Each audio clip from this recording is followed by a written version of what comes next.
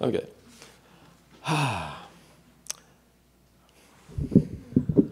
Hmm. Well, you can hear me, I'm sure. Silence, peace. This, as has been mentioned, this coming weekend is the International Day of Peace on Saturday. And just to give you a tiny taste of the peace generator, we'll do a little bit of silence and a few quotes about silence and peace. So, yeah, relax. Just be comfortable.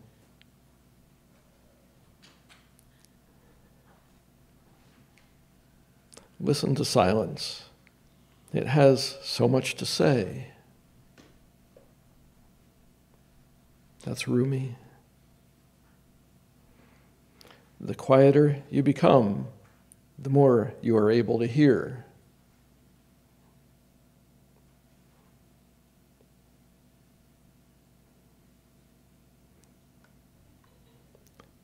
What does silence mean to you? Is it usually peaceful?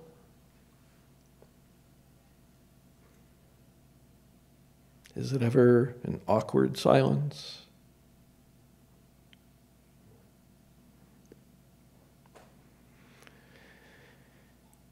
Is it a nice respite from the onslaught of words and noise and even music that's almost constantly surrounding us these days?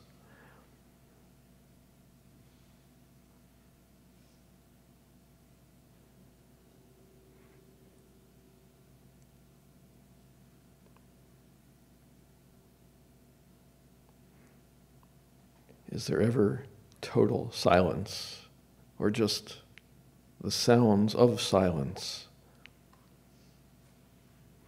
That gentle background hum of electronics, a bird chirping, a little breeze through the leaves in the trees. There's little bits of noise compartmentalize and highlight the silence like a frame around a picture so we can better focus on the picture.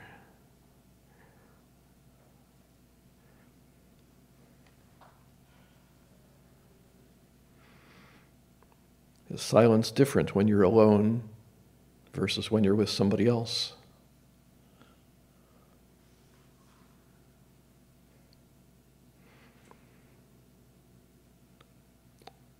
Saying nothing sometimes says the most.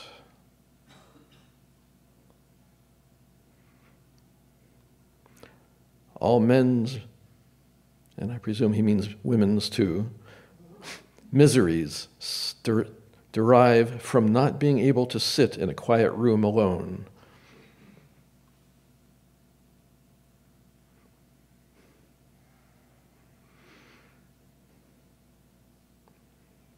A fool is known by his speech, and a wise man by silence.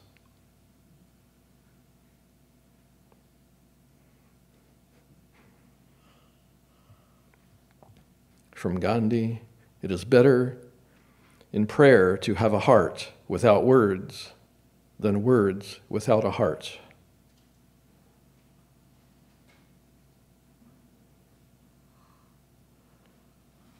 From Einstein, the monotony and solitude of a quiet life stimulates the creative mind.